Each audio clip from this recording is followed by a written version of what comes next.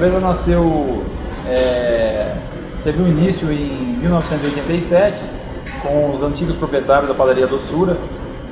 É, de, depois veio a, a, troca de gestão em 1997, 10 anos após a sua iniciação.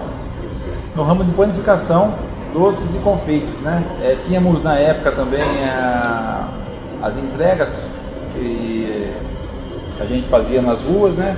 Ainda tem até hoje. E servindo também as grandes empresas dentro de Porto Ferreira, tipo Margiros na época, Cerâmica Porto Ferreira, Sangoban, é, Vidroporto, todas, a Ideal, todas as empresas a gente tentava agariar. E levando os pãezinhos para os funcionários também dessas empresas. E atendendo o, o público no dia a dia. Assim nasceu nossa empresa, Padaria e Confeitaria do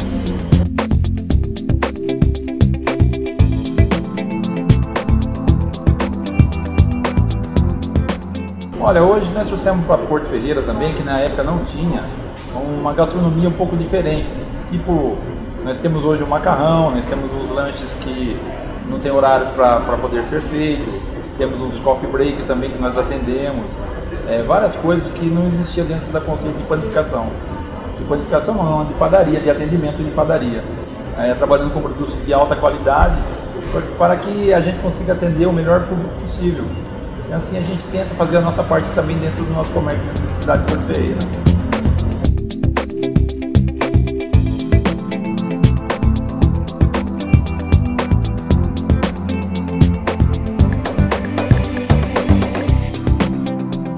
Também é bem simples chegar até a nossa padaria.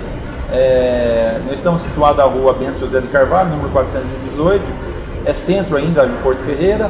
Hoje o horário que nós trabalhamos, funcionamos a nossa nosso comércio, ele abre às 5 da manhã e fecha às 19h30, durante de segunda a sexta e de sábado das 5 às 19 E durante feriados e domingos nós abrimos a partir das 6 da manhã e funcionamos até às 12 horas.